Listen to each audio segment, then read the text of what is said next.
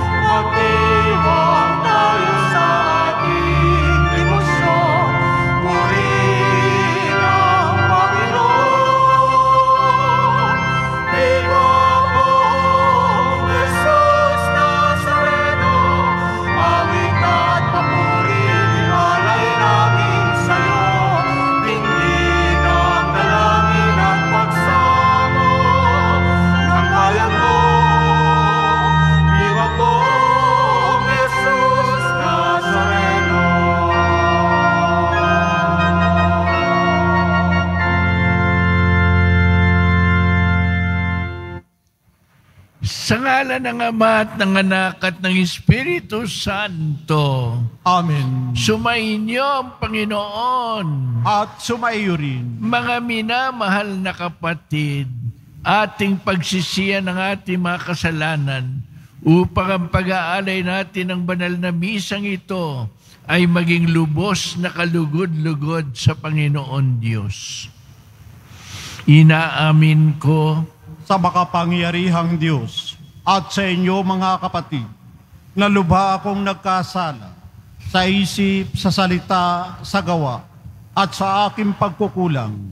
Kaya isinasamo ko sa mahal na Berheng Maria, sa lahat ng mga anghel at mga banal, at sa inyo mga kapatid, na ako'y panalangin sa Panginoong ating Diyos. Kaawan tayo na makapangyarihan Diyos, patawarin tayo sa ating mga kasalanan at patnubayan tayo sa buhay na walang hanggan. Amen. Panginoon, kaawaan mo kami. Panginoon, kaawaan mo kami. Kristo, kaawaan mo kami. Kristo, kaawaan mo kami. Panginoon, kaawaan mo kami. Panginoon, kaawaan mo kami. Manalangin tayo. Ama naming makapangyarihan, nilob mo nga kuwin ang iyong anak ang krus at kamatayan upang ang sangkatao ay matubos at mabuhay. Ang pagako namin sa krus at kamatayan dito sa lupa, ayon sa diwa ng pagsunod sa iyong loob na ginanap ng iyong anak, ay magpaging dapat na ang aming kamtin ang lubos na katubusan at pagkabuhay sa iyong piling sa pamagitan ni Kristo na nabubuhay at nag-aaharing kasama mo at ng Espiritu Santo magpasawalang hanggan. Amen. Maupo po tayo.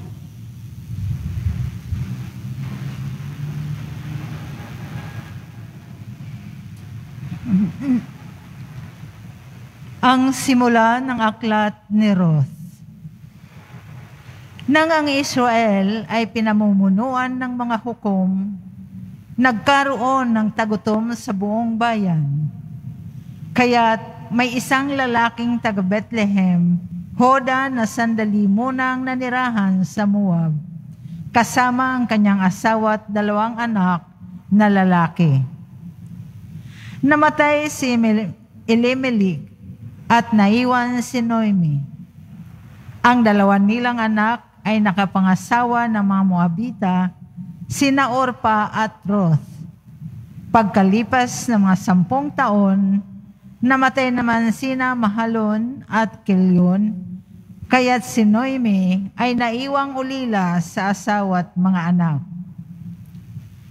Nabalitahan ni Noemi na ang kanyang bayan ay pinagkalooban ng Diyos ng mabuting ani. Kaya't humanda sila ng kanyang mga manugang nang umalis sa Moab. Hinagkan ni Orpa ang kanyang biyanan at tuluyang bumalik sa kanyang bayan. Ngunit nagpaiwan si Ruth. Sinabi ni Noemi kay Ruth, Ang bilas mo'y nagbalik na sa kanyang bayan at sa kanyang mga Diyos. Umuwi ka na rin. Tumugon si Ruth, Huwag na ninyong hilinging iwan ko kayo. Hayaan na ninyo akong sumama sa inyo. Saan man kayo pumaroon, doon ako paruroon. Kung saan kayo tumira, doon din ako titira. Ang inyong bayan ang magiging aking bayan. Ang inyong Diyos ang aking magiging Diyos. Iyan ang nangyari kay mula, mula sa Moab ay nagbalik si Noemi kasama si Ruth ang manugang niyang Moabita. Nang dumating sila sa Bethlehem, ay sinisimulan ng anihin ang sibada. Ang salita ng Diyos. Salamat sa Diyos.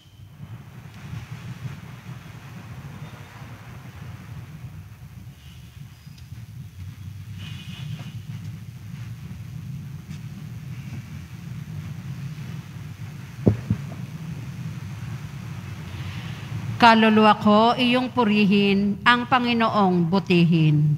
Kaluluwa ko, iyong purihin, ang Panginoong butihin. Mapalad ang tao na ang kanyang Diyos, na laging katulong ay ang Diyos ni Jacob. Sa Diyos na Panginoon, umaasang lubos. Sa Diyos na lumikha niyong kalangitan, ng lupa at dagat, at lahat ng bagay. Kaluluwa ko, iyong purihin, ang Panginoong butihin. ang maaasahang lagi Panginoon. Panig sa naaapi ang Diyos na hukom. May pagkaing handa sa nangagugutom. Kaluluwa ko, iyong purihin, ang Panginoong butihin. Pinalaya niya ang mga nabihag. Isinasauli paningin ng bulag. Lahat ng inapi ay itinataas. Ang mga hinirang niya'y nililingap. Kaluluwa ko, iyong purihin, ang Panginoong butihin. Isinasanggalang ang mga dayuhan. Sa lupaing nila'y doon tumatahan. Tumutulong siya sa balot ulila. Masamang balangkas, pinipigil niya. Walang hanggang hari ang Diyos na poon. Nabubuhay lagi ang Diyos mo, Siyon. Kaluluwa ko, iyong purihin, ang Panginoong butihin. Tumayo po tayo.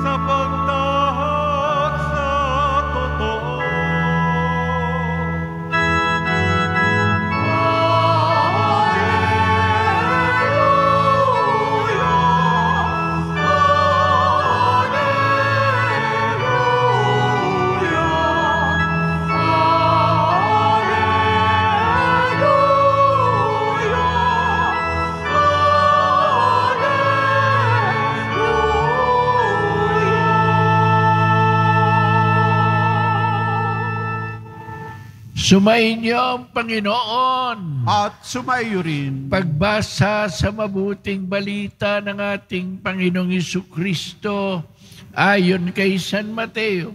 papuri sa iyo, Panginoon. Noong panahong iyon, nagtipon-tipon ng mga pariseo ng mabalita nilang nagpa, napatahimik ni Jesus sa mga Saduseo. At isa sa kanila, isang dalubhasa sa kautusan, ang nagtanong kay Jesus upang subukan ito. Guro, alin pong pinakamalagang utos sa kautusan? Sumagot si Jesus, Ibigin mo ang Panginoon mong Diyos ng buong puso, ng buong kaluluwa at ng buong pag-iisip. Ito ang pinakamalagang utos. Ito naman ang pangalawa, ibigin mo ang iyong kapwa gaya ng iyong sarili. Sa dalawang utos na ito, nakasalalay ang buong kautusan ni, Mo- ni Moises at nagturo at ang turo ng mga propeta. Ang mabuting balita ng Panginoon. Pinupuri ka namin, Panginoong Heso Kristo. Maupo po tayo.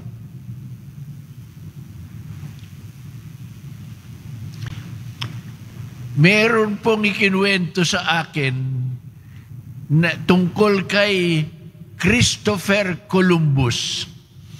Si yung nakadiskubre ng Amerika, sabi nila. Sabi daw ni Christopher Columbus, doon sa mga natitipong mga magagaling na tao, Meron ba sa inyo makapagpapatayo ng itlog na ito? Sabi niya, kumuha ng itlog sa mesa nang hindi ninyo nilalagyan ng anumang suporta.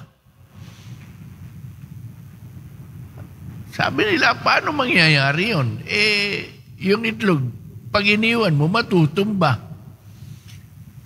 Tingin sila. Tapos nagtawanan. Ha? Paano mo magagawa yan? Alam niyo ang ginawa ni Columbus? Ang ginawa ni Columbus, kinuha yung itlog. Pinukpok na ganon. Doon sa mesa, eh di nung napukpok, napitpit ang puwitan ng itlog. Eh naitayo niya.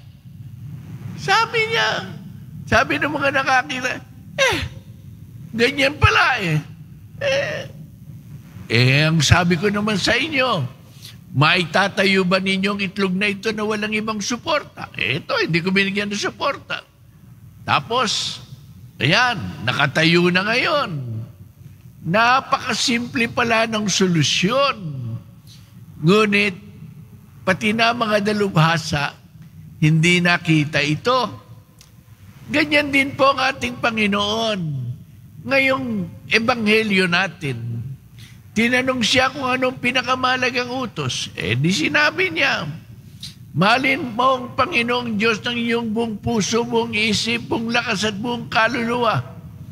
Ngunit idinugtong niya, at ibigin mo ang iyong kapwa tulad ng iyong sarili. Sa dalawang utos na yan, nakasalalay ang buong kautusan ni Moises. Napakasimple nga ng buhay. Meron akong isang kaibigang matanda, mapagbigay ng prutas sa akin. Napakasimple pong babae. Sabi niya sa akin isang araw, at paulit-ulit niya sinabi noon, buhat noon, hindi ba bishop? Simple lang ang buhay.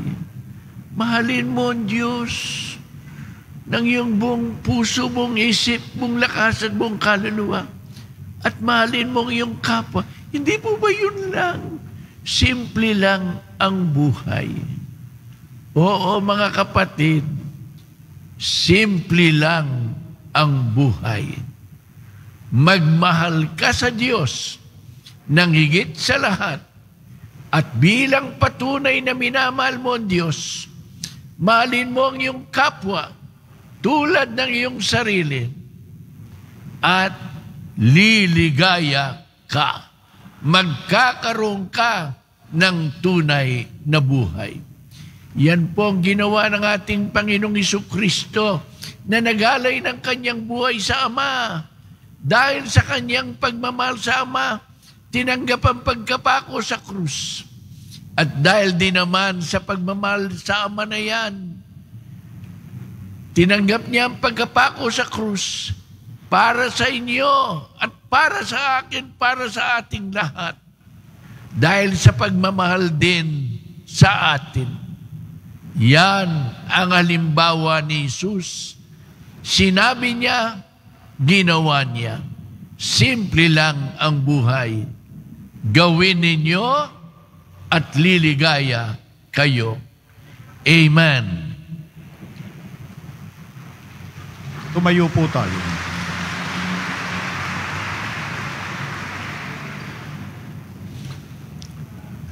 Mga minamahal na kapatid, halina't dumalangin sa ating Panginoon Diyos na nagmamahal sa ating lahat at sabihin natin, Panginoon, dinggin mo kami.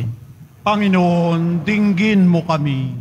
Ang simbahan sa pamamagitan ng kanyang mga pinuno naway umakay ng mga sumasampalataya sa mas malalim na kaalaman at pag-ibig ng Diyos. Manalangin tayo. Panginoon, dinggin mo kami. Ang mga namumuno sa atin naway gawing gawa, gabay ang pagsunod sa batas ng Diyos. Manalangin tayo.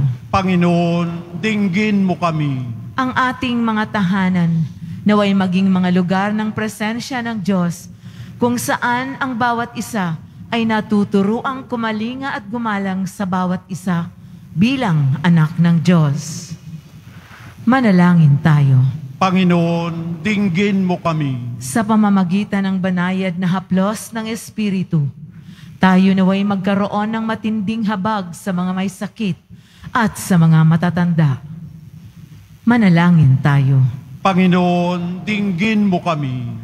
Ang ating mga mahal na yumao, naway dalhin ni Kristo sa kanyang walang hanggang kaharian. Manalangin tayo. Panginoon, dinggin mo kami. Aming amang Diyos, mahal mo kami. Igawad mo na malin ka rin namin ang buong puso at buong isip at malin namin ang aming kapwa tulad ng aming sarili sa pamagitan ni Kristo ng aming Panginoon. Amen. Maupo po tayo. Jesus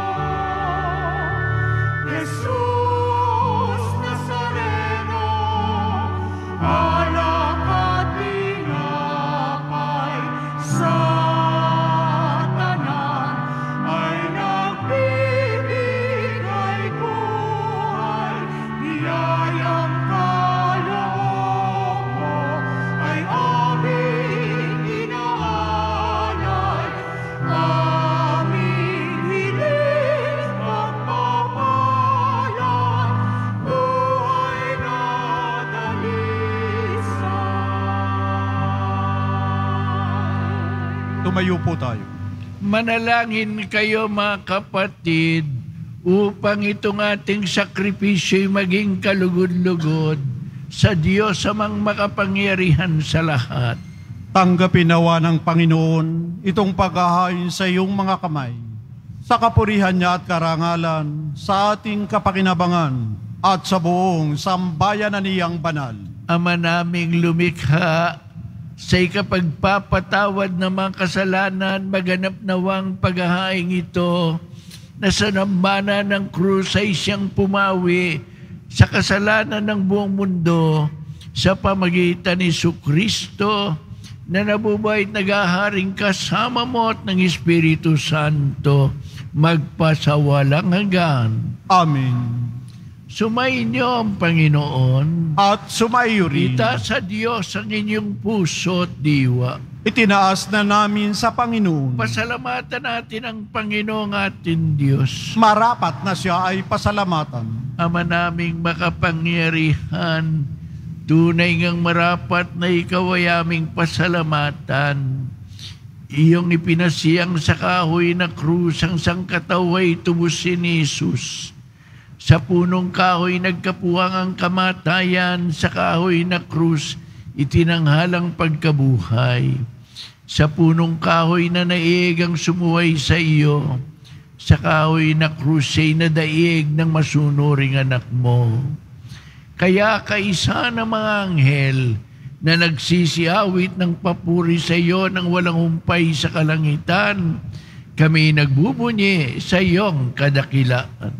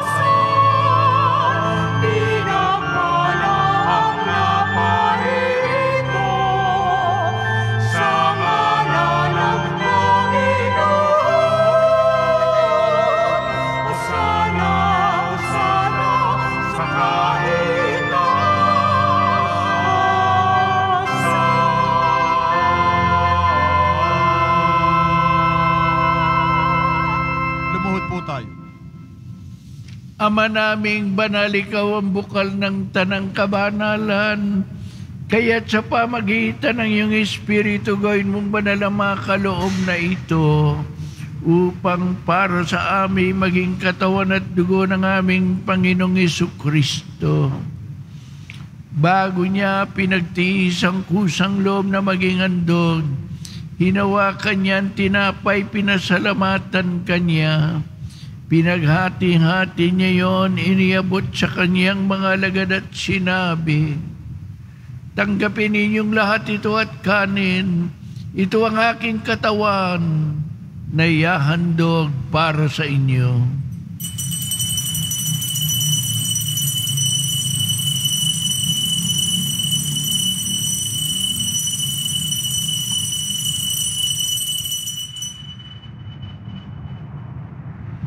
Gayun din naman nung matapos ang hapunan, hinawakan niya ang kalis muli kanyang pinasalamatan. Iniabot niya ang kalis sa kanyang mga lagad at sinabi, Tanggapin ninyong lahat ito at inumin. Ito ang kalis ng aking dugo ng bago't walang hanggang tipan. Ang aking dugo na ibubuhos para sa inyo at para sa lahat sa ikapagpapatawad ng mga kasalanan. Gawin ninyo ito sa pag-alala sa akin.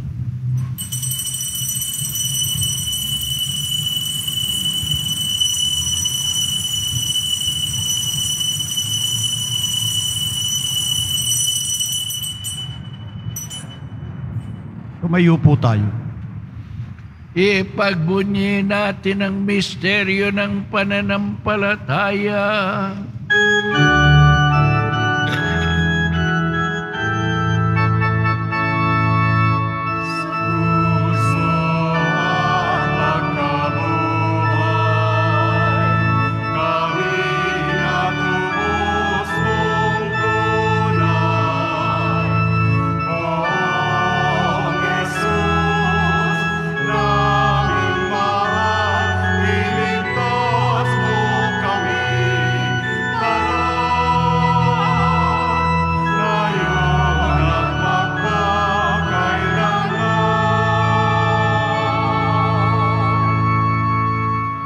ginagawa namin ngayon ang pag-alala sa pagkamatay at muling pagkabuhay ng iyong anak. Kaya tinialay namin sa iyo ang tinapay na nagbibigay buhay at ang kalis na nagkakaloob ng kaligtasan. Kami nagpapasalamat dahil kami yung minarapat na tumayo sa harap mo para maglingkod sa iyo. Pakumbabang sinasamo namin na kami makikinabang sa katawan at dugo ni Kristo ay mabuklod sa pagkakaisa sa pamagitan ng Espiritu Santo. Amalingapin mo ang iyong simbang laganap sa buong daigdig. Puspusin mo kami sa pag-ibig kaysa ni Francisco naming Papa ni Jose naming Obispo at ng Tanang Kaparian. Alalahanin mo rin ang mga kapatid naming nahimlay nang may pag-asang sila'y muling mabubuhay, gayon din ang lahat ng mga pumanaw. Lalo na po pinaalala sa amin sa misang ito. Kawan mo sila at patuloyin sa iyong kaliwanagan. Kawan mo pagdapatin kaming lahat na makasalo sa iyong buhay na walang wakas. Kaysa ng mahal na Birheng Maria na ina ng Diyos, kaysa ni San Jose ang kanyang kabiyak ng dibdib, kaysa ng mga apostol at na lahat ng mga banal na namoy dito sa daigdig ng kalugod-lugod sa iyo. May pagdiwang nawa namin ng pagpupuri sa ikararangal mo sa pamagitan ng iyong anak namin Panginoong Heso Kristo. Sa pamamagitan ni Kristo kasama niya at sa Kaniya, ang lahat ng parangal at papuri sa iyo, Diyos amang makapangyarihan, kasama ng Espiritu Santo magpasawalang hanggan.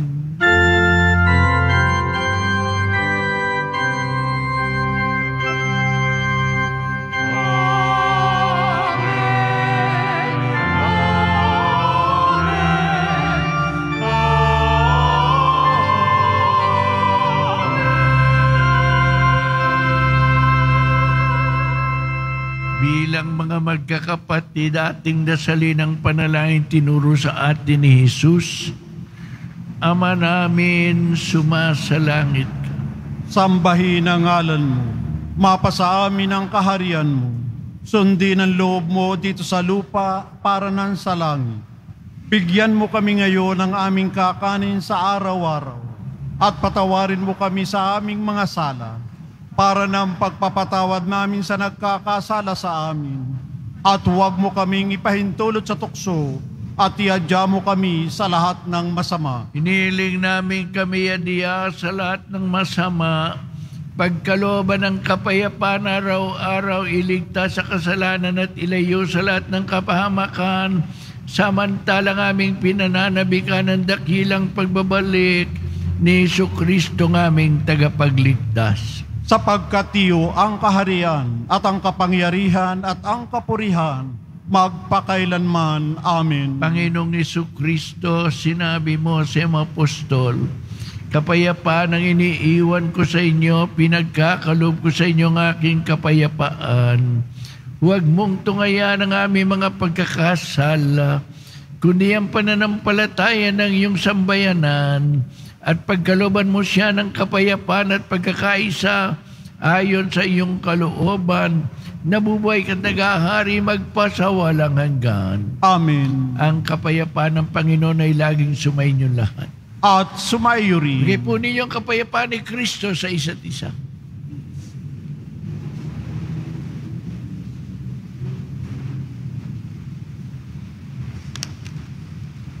Kordero ng Diyos na nag-aalis ng mga kasalanan ng sanlibutan, maawa ka sa amin. Kordero ng Diyos na nag-aalis ng mga kasalanan ng sanlibutan, maawa ka sa amin.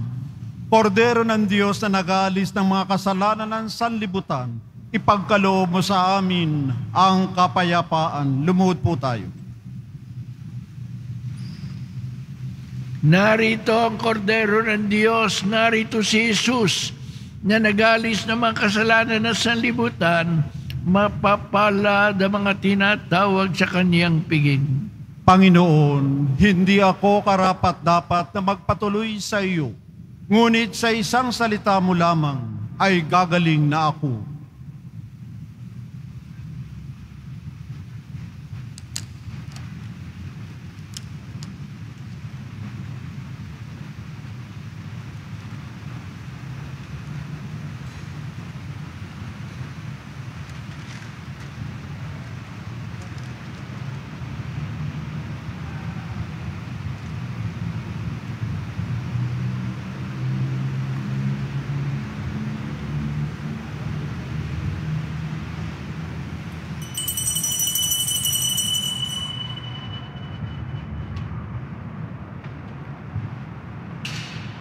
Ang katawan ni Kristo. Amen. Para sa lahat ng tatanggap ng banal na komunyon, sasagot po tayo ng amen pagkasabi ng pari o ng lay minister ng katawan ni Kristo. At isubo agad sa bibig bago umalis sa harapan ng pari o lay minister. Sumunod po tayo. Maraming salamat po.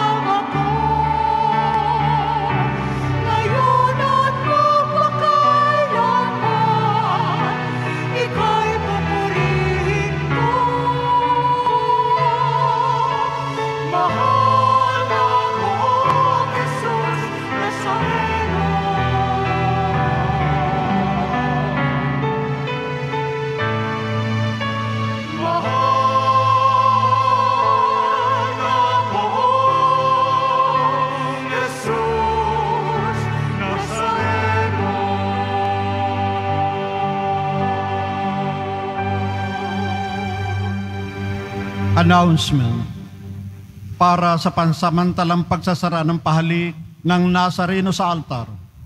Ipinagbibigay alam po sa lahat na ang pahalik sa likod ng altar ng imahe ng poong Nazareno ay pansamantala munang isasara sa kadahilanan na magbibigay daan sa mga gagawing paglilinis at pagsasaayos ng paglalagyan ng imahin. Kaugnay nito, patuloy pa rin naman po ang pahalik ng imahe ng Nazareno sa Benedict Building sa Evangelista Street po ang pasukan. Pagkatapos ng misa, wiwisikan po ang lahat ng banal na tubig. Pinakikiusapan ng lahat na manatili lamang muna sa inyong mga lugar. Tumayo po tayo.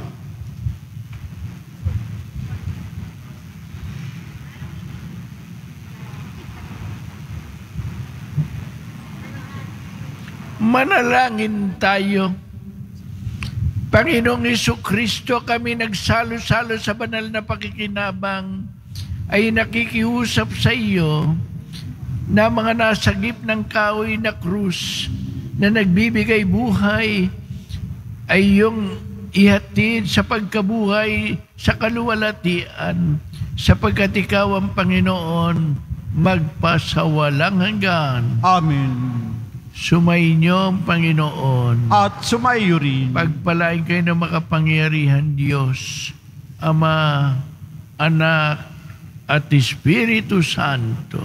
Amen. Tapos na ang ating misa, umayo kayo magmahalan sa isa't isa. Salamat sa Diyos.